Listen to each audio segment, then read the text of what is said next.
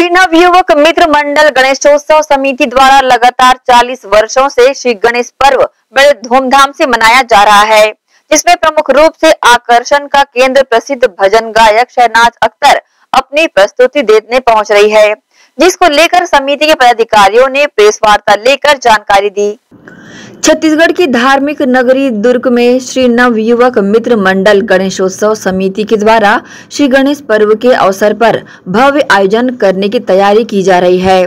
इसी कड़ी में समिति द्वारा इस बार प्रसिद्ध भजन गायिका शहनाज अख्तर, जो कि जबलपुर से हैं, उनकी प्रस्तुति देने दुर्गाधाम पुरानी गंज मंडी, गंजपारा दुर्ग में समिति द्वारा उन्हें बुलाया गया है।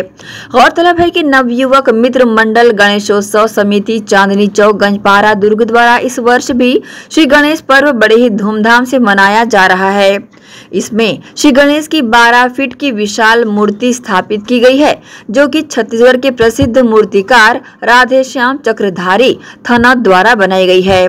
साथ ही मूर्ति में नागपुर के कलाकारों के द्वारा नग की नक्काशी की गई है और विशाल पंडाल के साथ आकर्षक लाइट लगाई गई है, जो कि इन दिनों आकर्षण का केंद्र बनी हुई है।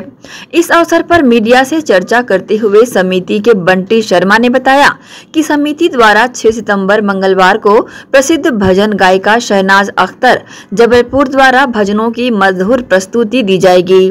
कार्यक्रम में मुख्य अतिथि छत्तीसगढ़ के यशस्वी मुख्यमंत्री भूपेश बघेल, अध्यक्षता तामधर साहू एवं विशेष अतिथि अरुण वोरा सहित अन्य लोग शामिल रहेंगे। मित्र मंडल गणेश उत्सव समिति, जो कि पूरे दुर्ग ज़िले में विगत 40 वर्षों से गणेश पर्व बड़े धूमधाम से मनाते आ रही है। इस वर्ष भी पिछले दो साल कोरोना काल को देखते हुए पूरे शहर में आयोजन नहीं हुआ था।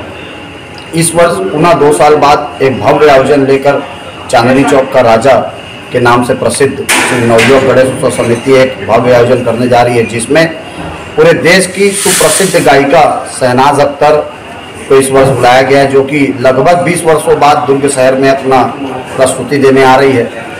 समिति द्वारा पूरे दुर्ग शहर और दुर्ग ज़िले के लगभग बीस हज़ार धर्म प्रेमियों के बैठने की व्यवस्था पुरानी गंज मंडी, दुर्गा धाम, गंजपाड़ा दुर्ग में यह आयोजन होना है, जिस पर की गई है।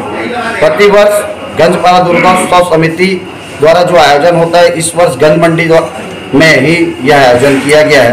गणेश पर्व के अवसर पर महाभंडारा का आयोजन के साथ साथ महाआरती और अभिषेक पूजन का भी आयोजन श्री नवयुग मित्र मंडल गणेश उत्सव समिति चांदनी चौक द्वारा आयोजित किया गया समिति द्वारा एक विशेष तौर पर अभियान चलाकर सभी गणेश पंडालों में जा जाकर एक अनुरोध किया जा रहा है कि पितर पक्ष को देखते हुए पूर्व में, पितर पक्ष में गणेश विसर्जन होता था। सभी एक राय से इस वर्ष पितर पक्ष में न विसर्जन करते हुए लगभग सभी समितियों ने एक चांदनी चौक की अभियान को माना है और लगभग 10 तारीख को सभी गणेश जी का विसर्जन करने जा रहे हैं। बहरहाल, कार्यक्रम में सभी लोगों की भागीदारी बढ़ चढ़ कर रहेगी। ग्रैंड एशियन न्यूज़ के लिए दुर्ग से नसीम फारूकी की रिपोर्ट।